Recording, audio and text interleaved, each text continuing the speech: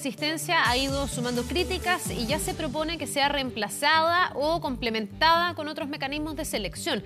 En algunas casas de estudio sugieren que la admisión sea mediante entrevistas personales o exámenes fijos por especialidad que permita conocer el vínculo con la futura carrera. Vamos a hablar sobre este tema. Estamos junto a Verónica Santelices, académica de la Facultad de Educación de la Universidad Católica, que ha estudiado además en profundidad este tema. Verónica, bienvenida muchísimas gracias por estar con nosotros. Aquí hay dos miradas. Los más críticos dicen la PSU no sirve, busquemos otro sistema de admisión. Hay otros que dicen la PSU sirve, pero hay que complementarlo. Y hay tres miradas en realidad, porque hay otros que están solo con la PSU y dicen no, está perfecto, introducir otras cosas podría irle generando distorsiones a este mecanismo de selección. ¿Cuál es tu posición? Y luego ya profundizamos en qué mide la PSU, cuáles son los desafíos, etcétera. Eh, mira, hoy día es importante tener en cuenta eh, por lo menos eh, tres elementos, ¿cierto?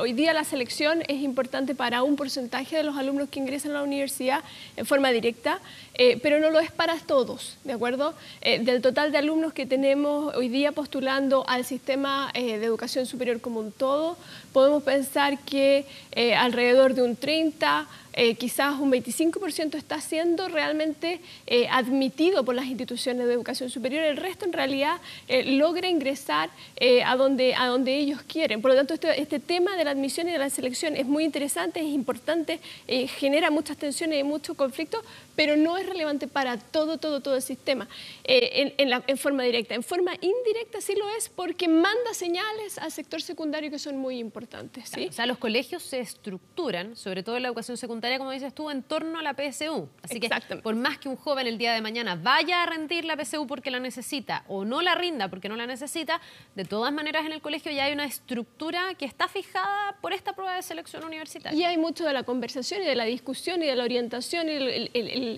futuro de los alumnos, su planificación en la práctica está impactada por esta eh, discusión nacional. Ahora, en un sistema de admisión, eh, a uno le interesa la, literatura, las prácticas hoy día internacionales están puesta en cuatro pilares importantes. Uno es que eh, los, indicadores de admisión, los instrumentos, como tú hablabas de la PSU, también tenemos hoy día el ranking de educación secundaria, tenemos las notas que se ponderan también alrededor del 20%. entonces, esos indicadores de admisión en su conjunto, en la forma en que se procesa, nos den una medición que que prediga cómo ese alumno le va a ir en la universidad y después en la vida laboral, pero también queremos que sea un sistema eficiente, eso quiere decir que logre hacer el trabajo que necesita hacer esta predicción, este ordenamiento para la selección, lo haga en forma eficiente, con los recursos adecuados, no sea excesivamente caro, ¿sí? pero además sea transparente, para todos los alumnos que en algún momento quisieron, pensaron, soñaron con poder ir a la educación superior y lo haga de forma equitativa. Por lo tanto, son cuatro los objetivos que tú hoy día en un sistema de admisión moderno estás esperando que ese sistema cumpla. Que sea predictivo, que sea eficiente, que sea transparente, que sea equitativo y nosotros le agregaríamos un quinto, además, que mande buenas señales al sistema secundario. De esos cinco objetivos que tú enumeras, ¿cuáles cumple y cuáles incumple la PSU? ¿Es suficiente para cumplir los cinco objetivos o falta otro tipo de mecanismos que complementen o habría que cambiar y repensar la mirada? A ver, en general, en Chile hemos, hemos sufrido eh, en los últimos 10 años, diría yo, un cambio en el sistema de admisión que no hay que desconocer.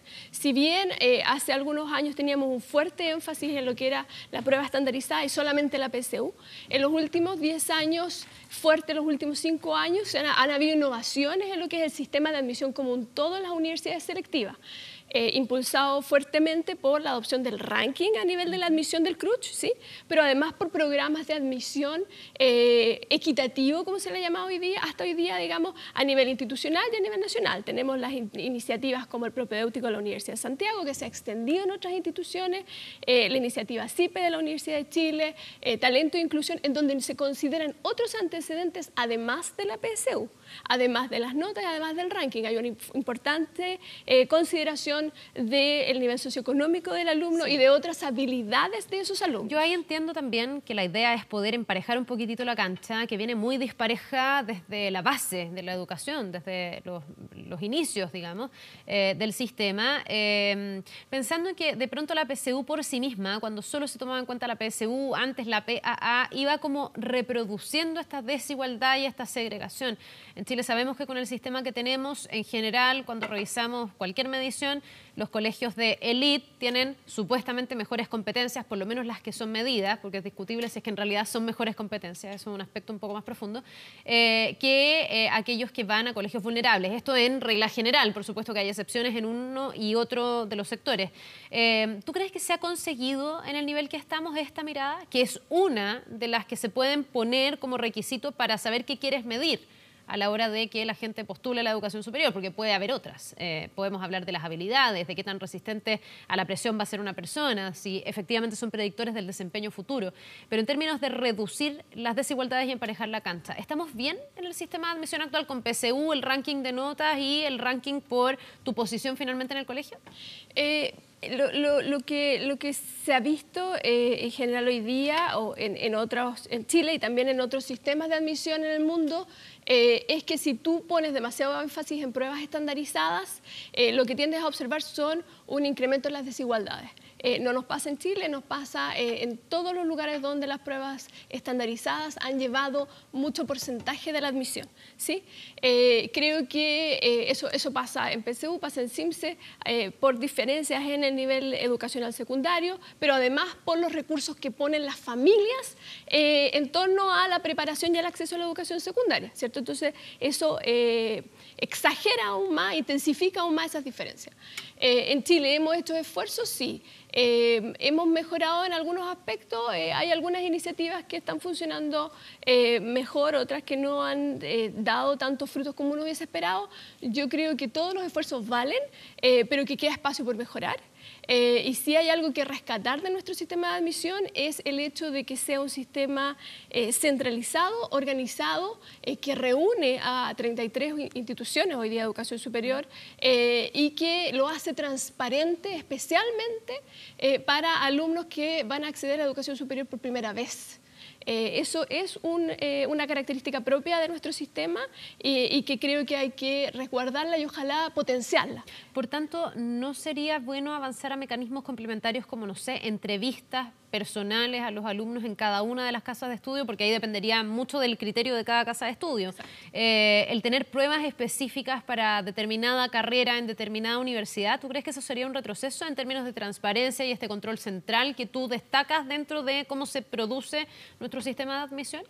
Cada una de esas iniciativas en la práctica tiene beneficios, eh, como podría ser a lo mejor un mejor calce, una, eh, una mejor ajuste entre lo que es el perfil del alumno que está postulando y eh, la misión que tiene la institución eh, en particular, ¿cierto? Eh, cosa que hoy día en Chile no necesariamente se está logrando en forma tan, tan precisa. por ejemplo, tener, tener entrevistas o tener un ensayo donde el alumno pueda explicar sus intereses, etc. pero se podría complementar la información que hoy día se usa para, para decidir lo que es la admisión, incluso a través de este sistema organizado y centralizado. Eh, se hace hoy día en otras partes del mundo, como es en Inglaterra, por ejemplo, eh, o en Estados Unidos, un conjunto de las universidades de la costa eh, este se han organizado y ellos recogen se ponen de acuerdo y dicen vamos a pedir un ensayo, vamos a pedir información sobre las actividades que los alumnos han hecho en educación superior. queremos saber además cuántos alumnos del colegio X están viniendo a la universidad o a otro tipo de, institución de educación superior, eh, queremos saber eh, cómo es el índice de pobreza del área geográfica de donde está postulando ese alumno y esa información se pone a disposición de todas las universidades a las cuales está postulando ese alumno. Lo sigue haciendo el sistema centralizado, eh, pero a lo mejor la ponderación más específica la hace cada una de las instituciones de educación superior con cierto grado de discrecionalidad. Ese grado de discrecionalidad también se puede acordar. Ya, pero, pero tú dices que en el fondo hay formas de avanzar en tener mecanismos complementarios a la PSU que no significan sacrificar la transparencia. Y no, exactamente, no significa, eh, por un lado, sacrificar la transparencia y por otro lado, sacrificar la forma organizada y centralizada que hemos logrado eh, tener en Chile. Ahora, tengo yo, tú hablabas de la capacidad predictora que puede tener o predictiva que puede tener la PSU para saber si es que un alumno va a ser finalmente un buen profesional en el futuro.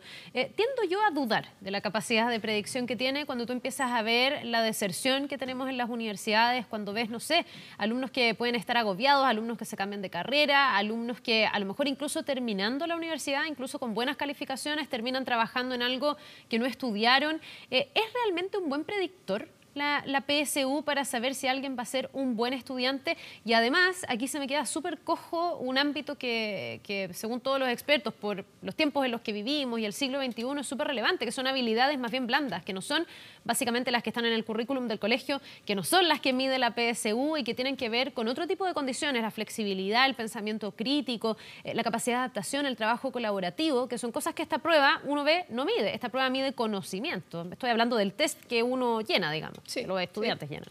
Eh, efectivamente, tú tocas en eh, varios temas que eh, tienen y en la práctica se encuentran lamentablemente con dificultades metodológicas en el estudio. ¿sí?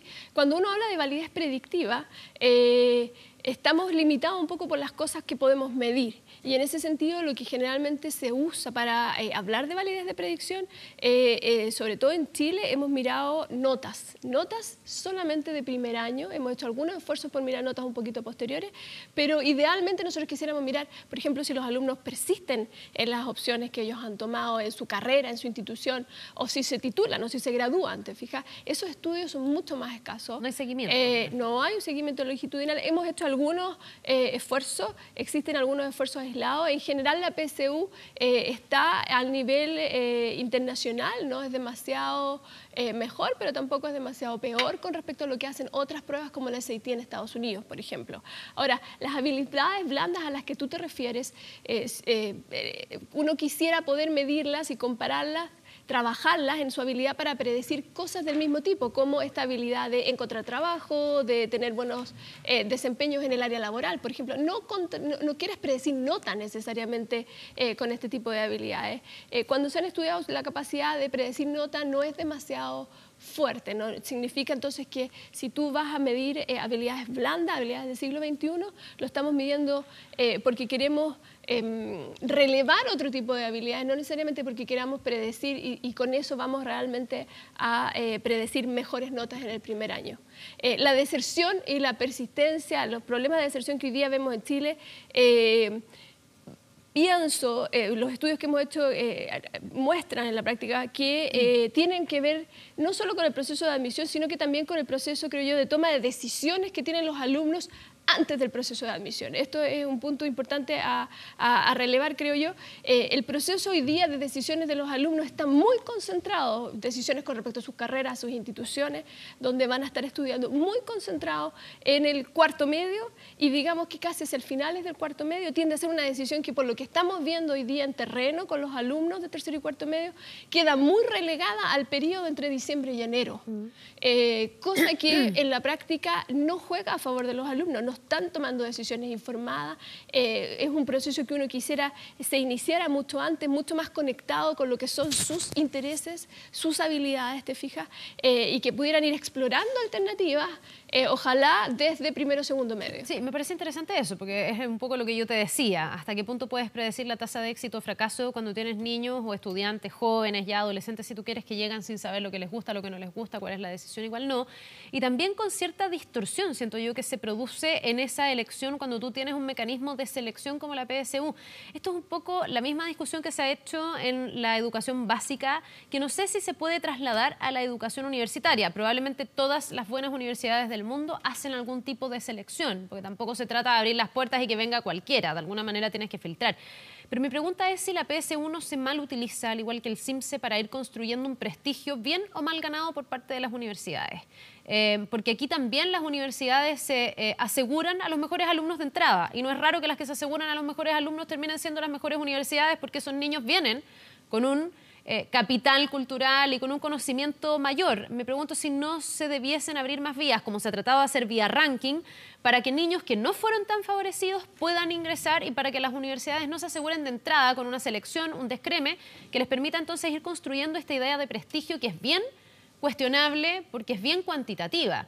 Se trata aquí de cuánto puntaje tengo, de cuántas notas tengo, de cuántos titulados tengo, pero no de cuántos profesionales que realmente les va bien en el futuro, que son felices, que son integrales. Hay como una dimensión olvidada de la educación, de la integralidad, siento yo, de las personas. ¿Cómo ves tú eso? ¿Se puede incorporar algo así a la educación superior o no, porque ahí ya te llegó la cancha dispareja, porque eso se tuvo que hacer antes. En la práctica hay, hay interés por abordar eh, el tema al que tú te refieres. Yo creo que hoy día hay eh, mucho espacio y mucha discusión en las instituciones de educación superior al, interior de lo que es el sistema unificado de admisión por el mismo tema eh, que tú planteas, por tratar de hacer más inclusivas las instituciones selectivas o que se han ido incluso siendo más selectivas con el tiempo en la medida en que la admisión ha sido solo basada en PSU y que ha habido recompensas monetarias por buenos puntajes PSU en cuanto a financiamiento de las instituciones. ¿Sí? Eh, creo que hay mucho espacio para, para avanzar en ese camino. Eh, algunas de las alternativas que estamos mirando, que estamos discutiendo, eh, se han probado en otros países. algunas de ellas, por ejemplo, han llegado al extremo de no considerar pruebas estandarizadas o dejarlas como una opción del ¿Qué resultado ha tenido eso, por ejemplo, cuando uno piensa en la renuncia total de la prueba estandarizada?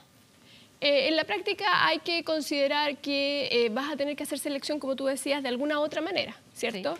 Eh, y en ese sentido hay una discusión abierta con respecto a qué otros indicadores y cómo vas a ponderar esos indicadores si es que no queremos perder esta transparencia de la que estamos hablando eh, y esta fuerza de trabajar todos juntos eh, en un proceso de selección unificado, digamos, que quisiéramos preservar del sistema chileno. Lo que pasa es que ahí, Verónica, suena como bien lógico, digamos, desde el sentido común, no tengo idea cómo se prueba esto en el mundo ni cómo ha rendido, pero suena lógico que si tú, sobre todo en el escenario que tú me dices, ¿ah? cuando me dices la decisión muchas veces los jóvenes la toman un poco apurados y en realidad no saben mucho.